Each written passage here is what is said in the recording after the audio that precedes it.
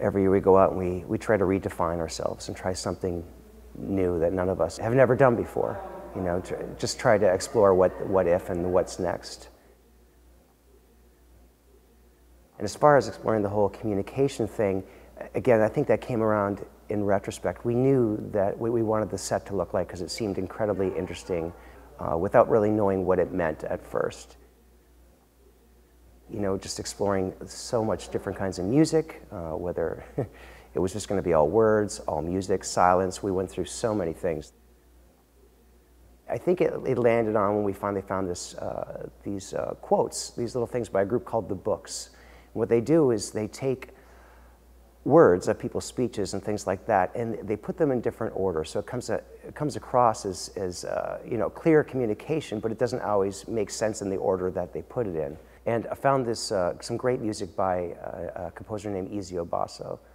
And his, uh, his music, it's very, uh, well, it's beautiful. It's also very desolate um, and alone feeling. So it was a juxtaposition of that music uh, with the words and something very overt and abstract of what the books is. And you put those two together, um, and it created something that was very, very interesting uh, for all of us. That doesn't sound like anything that we've ever written to.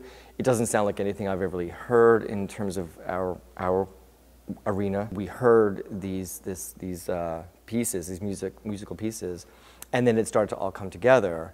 And then we realized that, oh, I think we can achieve some of those things on our to-do list with this music. It's sort of a commentary on people's uh, desire to communicate in a very complicated world and not always being able to get their points across. The show begins with uh, just very, uh, with, with string chords, very fermata, with a lot of space in between them to kind of create that very desolate, alone feeling. And, and then that's broken up by the first, uh, by the first bit of words that we go through the show. And it's very light, and it sort of sets up this relationship between um, a guy and a girl.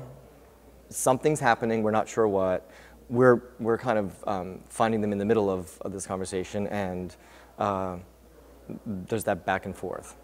The second section is, uh, um, it, it, sounds like somebody talking uh, on a phone.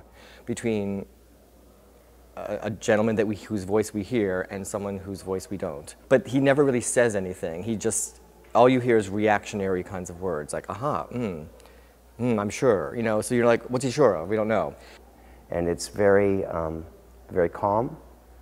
But again, no, no uh, um, complete sentences through the entire thing. It's very matter of fact. The third section is the section we call the list. And basically, this goes back to, uh, oh, I, am not sure when it was made, but there's a thing that's called auto-suggestion, where if you tell yourself the same thing over and over again, you end up believing it and living that. What's curious about the list section is that we don't know if he's being serious or he's just making fun of himself.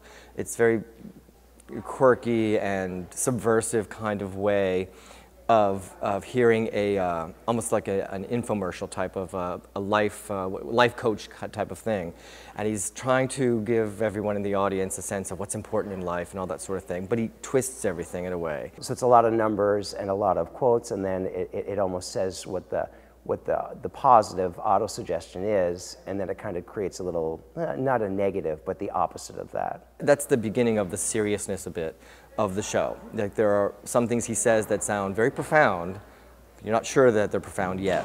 The fourth section is the one we call meditation. And what it is, is a, um, it's a recording of uh, someone just saying the word meditation as though they're meditating uh, on their own over and over and over again in different kind of styles, but all very subtle, mixed with what I believe is a preacher saying uh, the word God and, and giving a sermon that there. And it's the juxtaposition of those two underneath uh, some of the, the music that I talked about from the beginning of the show. And it's intense. It's extremely energetic and intense, and it kind of really builds to a climax. The show really climaxes right there. And again, if you're listening and if you're feeling that, uh, if you're buying into the show emotionally there, that's going to make you think about things, I think. I believe that they will uh, take complete ownership of this show um, at a very, very high level and be able to, uh, you know, uh, explore everything that we're exploring with it, and that not everything is always black and white, left to right, um, you know, in order and things like that. Sometimes there's different ways to go about doing that, and I hope that they embrace that and realize that that pretty, pretty much is how life is. You know, there's a lot of, uh, lot of possibilities and a lot of um, difficulty uh, in this show for them, and I hope that they're to, uh, you know, wrap their arms around it and make it their own.